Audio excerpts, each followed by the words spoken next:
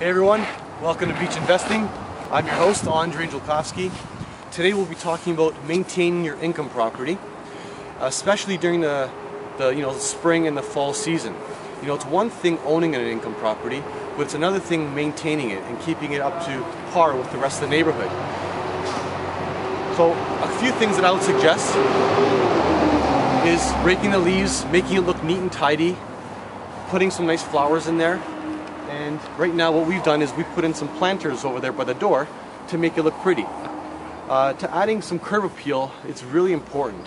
Not only will the tenants appreciate it, but it actually maintains the, the value of the house and actually improves the value of the house. So always remember to maintain your property, especially the curb appeal, because that's the first thing that everyone sees. Thanks for watching.